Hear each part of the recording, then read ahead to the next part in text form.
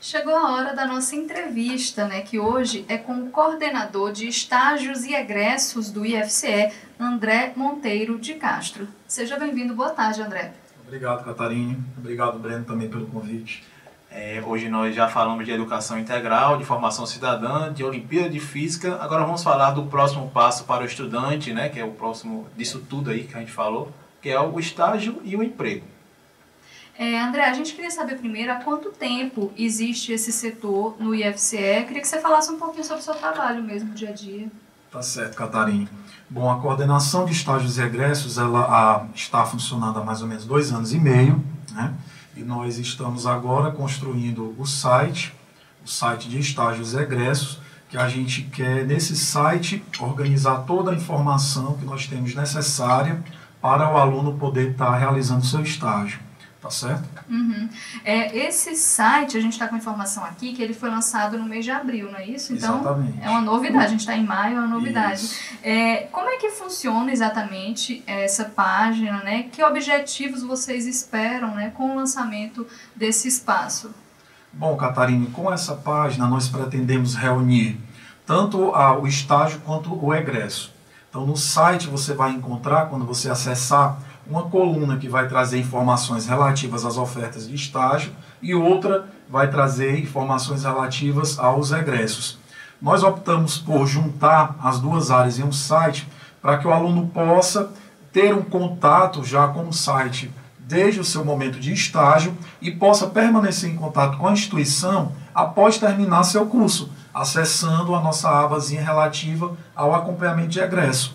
Nessa aba relativa ao acompanhamento de egresso, nós pretendemos divulgar eventos, nós pretendemos também estar é, tá divulgando é, o e-mail dos professores para que os alunos possam ter contato com o professor, uhum. para que eles possam é, até mesmo ter uma, uma ajuda, uma orientação melhor no mercado de trabalho. Então, o portal foi criado nessa tentativa de fazer com que o aluno mesmo terminando né, seu estudo no Instituto, possa permanecer ligado ao Instituto através desse contato, dessas informações que ele vai ter no site. E André, é, como é que a gente faz para acessar essa página? Pode ser via o portal ifce.edu.br? Exatamente. É, o endereço é esse e você acrescenta no final, depois do BR, barra estágios e egressos. Ah, tá Tudo okay. junto, sem acento, minúsculo, né? Então, ifce.edu.br barra estágios e egressos. Exatamente. Perfeito. E, e André, só tirando uma dúvida também, é, qual vai quem, quem vai alimentar essa questão desse portal, né? Se é o próprio, se é o próprio IFCE, se é o aluno vai ter, vai ter acesso também a esse portal? Pronto, é, o aluno também tem acesso ao portal. E para que ele possa ser administrado, nós estamos contando com a colaboração dos coordenadores de extensão de todos os campi do Instituto. Né? Então, alguns campi, eles possuem coordenação de estágio. Nesses campi que possuem coordenação de estágio, o coordenador de extensão contará com a ajuda dessa coordenação específica para estar alimentando o site. Nos campos onde não estiver, o coordenador de extensão vai fazer essa alimentação. Então, essa etapa de alimentar o site nós ainda estamos estruturando, né? e em breve o site estará com todas as informações de todos os campos do Instituto. Já dá para a gente falar de números, assim, quantos estudantes, empresas é, têm cadastrados, ou se você falou que está tá ainda, no, tá ainda encaminhando, né, começando esse trabalho. É, vocês têm uma meta pra, de número de estudantes? É, a, em questão de números, Catarinho, a principal meta que nós queremos é ter uma maior é, oferta de empresas. Né? Nós queremos que mais empresas possam se cadastrar, ofertar vagas para os nossos alunos e essas empresas elas vão estar listadas nesse site uhum. para que o aluno possa ver a empresa possa ter o interesse em estar fazendo estágio nessa empresa e essas empresas, quando elas forem disponibilizadas no site, elas já vão estar cadastradas junto ao IFCE. No caso de empresas públicas, elas estarão conveniadas e os alunos poderão efetuar seu estágio nessas empresas. E André, e o que é preciso para esses estudantes e empresas se cadastrarem né, no IFCE? Bom, a empresa ela deve procurar o campus ao qual ela quer ofertar a vaga. No caso, se for empresa de Fortaleza, ela deve se reportar à coordenação de estágio de Fortaleza. Se ela pretende ofertar para algum campus do interior, ela se reporta ao campus específico do interior.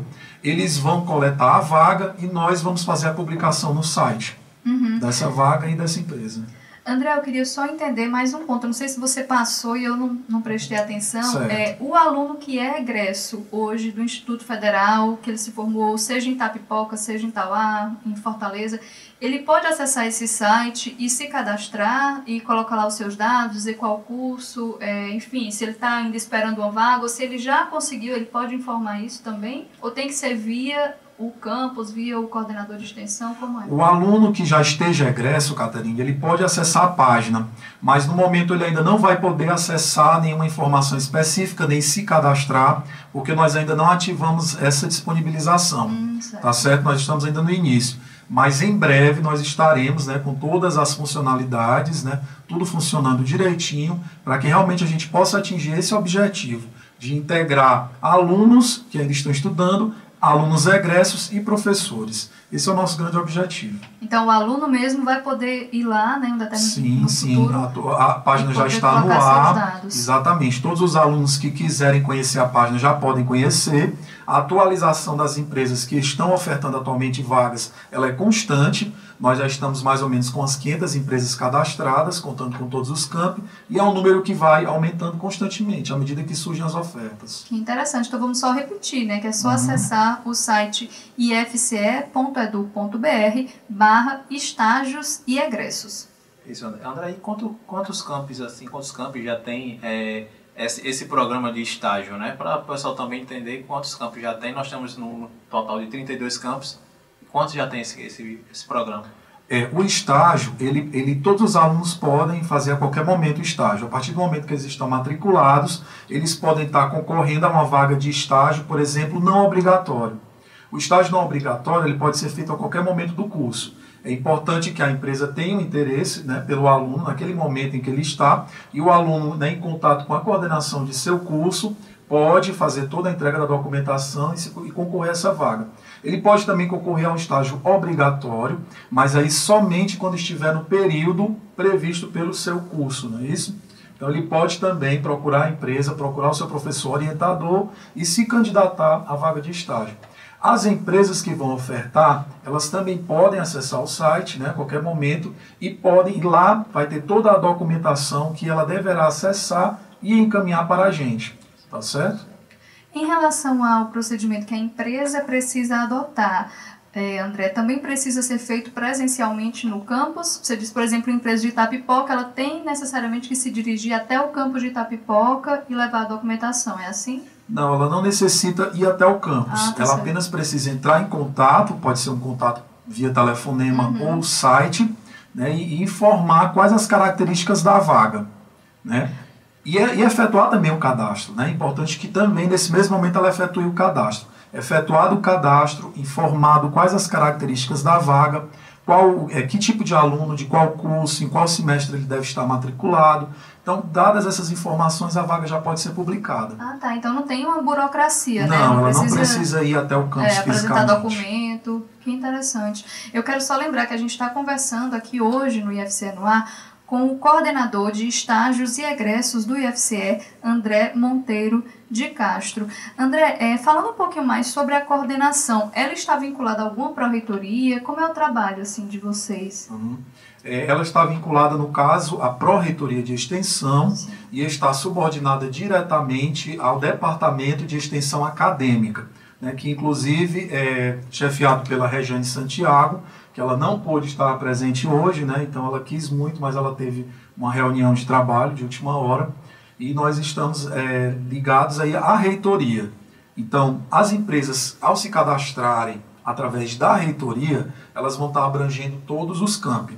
Então, nós também, como reitoria, já temos uma média de 20 convênios firmados, que também está publicado no site, e todos esses 20 convênios podem funcionar também para todos os campos do interior essa, esse, esse termo convênio é um termo que aí já, já necessita que a empresa, aí sim, forneça um número maior de informações? Exatamente. É, segundo nossa Procuradoria Jurídica, as empresas públicas, né, elas necessitam que seja feito um processo de convênio.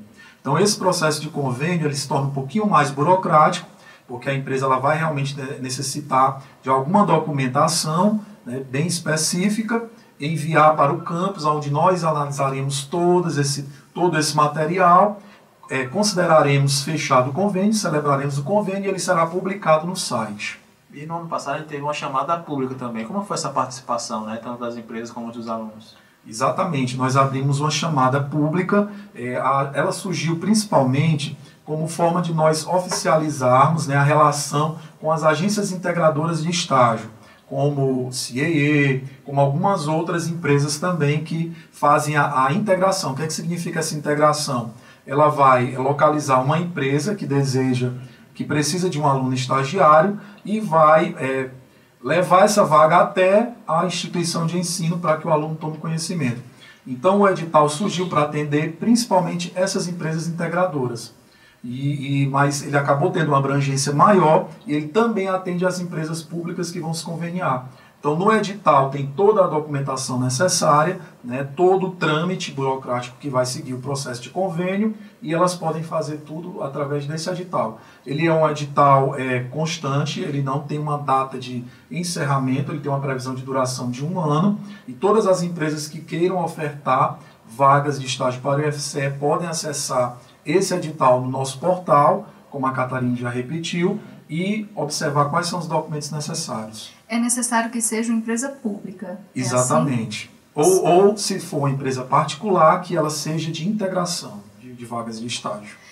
André, é, você já explicou para a gente, né, o portal ifce.edu.br tá tem, tem agora né, essa opção de você, se é, se é um estudante egresso da instituição, acessar a página ifce.edu.br barra estágios e egressos e aí consultar né, as informações lá de, de vagas. E você já falou também que são cerca de 500 empresas que já estão cadastradas, né? Vocês vão, vocês vão ter algum mecanismo para saber como é que está essa atuação, a, a efetividade dessa da oferta de vagas, assim, quantos alunos é, a cada mês ou a cada bimestre, não sei, semestre, estão conseguindo emprego por meio dessa, de, dessa ferramenta, né, dessa facilidade que vocês estão oferecendo? Sim, Catarina, o site ele tem essa, também esse objetivo, né, de aproximar a coordenação da reitoria com as coordenações locais, para que cada vez mais a gente possa ter acesso a essa gama de informações. Na é verdade, então a gente sabe que hoje em dia o IFCL está já tem 33 campi funcionando. Então, esses 33 campi todos, como tem oferta de curso, eles também têm necessidade de estágio. Então, a gente precisa realmente de uma ferramenta que possa juntar todas essas informações. E o site, né, para nós, vai ser esse caminho de conseguir juntar essas informações. Tem uma coisa interessante que você até já mencionou, mas eu achei um pouco rápido, Sim. André, que não é só. Quando a gente fala de estágio, eu, pelo menos, né, quando fiz faculdade, eu pensava, vou fazer um estágio, vai ser legal, vou ter uma prática profissional e vou ser remunerada por isso. Mas tem também o estágio obrigatório, né? Que é um estágio que ele, eu, eu acredito que ele não seja remunerado, né? Ele o... não precisa ser, ele poderá ser dependendo da empresa, né? Ah, entendi. Mas assim, o, o, o estudante que ele está já lá no final do, do curso, ele pode procurar também, é interessante para ele também essa ferramenta, caso ele queira fazer um estágio obrigatório, que aí poderá ser não remunerado? Isso. O estágio obrigatório, Catarina, ele só conclui o curso se ele fizer. Uhum. E normalmente ele vai estar tá ligado a um período. Ele pode surgir durante o terceiro semestre, o quarto semestre do curso, e ele só concluirá o curso se ele realmente realizar esse estágio. Caso ele tenha, digamos assim, sorte de conseguir uma empresa que possa estar tá remunerando através de uma bolsa, ótimo. Mas se não houver uma empresa que o remunere, ele vai realmente ter que fazer, porque essa experiência é importante para a sua formação. Né? Então, ele tem também que procurar a empresa para fazer um estágio obrigatório, ainda que não seja remunerado. Não vai ser necessariamente uma empresa cadastrada. Tem que ser cadastrada. Ah, tá certo. Tá certo? Ótimo, Agora, ótimo. se for uma empresa particular, o processo de cadastramento é bem mais simples do que o convênio. Uhum, entendi. É, infelizmente o programa está chegando ao fim, né? Mas ainda dá tempo para as considerações finais, né? Algo mais que você quer acrescentar, André? Bom, eu agradeço muito o convite de vocês. Realmente nós estamos precisando divulgar esse site para que a gente realmente consiga atingir esse objetivo, visto que o acompanhamento ao egresso é extremamente importante para o Instituto, porque ele é capaz de nos alimentar né, de, de informações que nos levem a melhorar os nossos cursos. Nós precisamos saber se os nossos alunos eles eh, estão conseguindo emprego, se eles realmente conseguiram realizar, é, aprender o que eles realmente, né, o curso se propôs a ensiná-los. Então a gente entende que é, é extremamente importante e contamos com a adesão de todos os professores, de toda a comunidade acadêmica. Também é, pedimos muito que os alunos acessem o portal. O portal ele cada vez mais é, estará cheio de informações do interesse deles, né, para que a gente realmente possa conseguir os nossos objetivos. Eu agradeço muito a todos vocês. Tá ok, então a gente agradece a presença do André Monteiro de Castro, ele é o coordenador de estágios e egressos do IFCE e conversou pra, com, a, gente sobre o setor né, de atuação dele, divulgou também o site ifce.edu.br barra estágios e egressos. E a gente termina por aqui, né? Siga a gente nas mídias sociais, Facebook, Instagram, YouTube, tem muito material bacana por lá também. O programa IFCE no ar volta na próxima quinta-feira, às duas da tarde, aqui na Rádio Universitária FM. Até lá. Até lá.